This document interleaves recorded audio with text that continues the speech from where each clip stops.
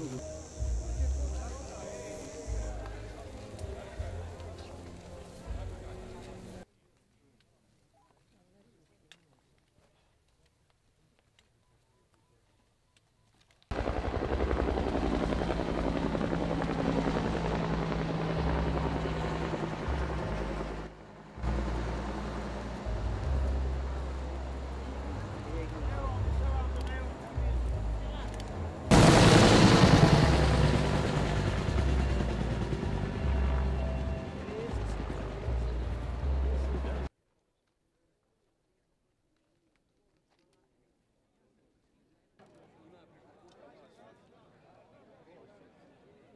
Mislim, mi to ne smijemo dati zaboravu i to mora biti do vijek vijekova da, da obilježavamo taj genocid nad bošnjacima na podrinju.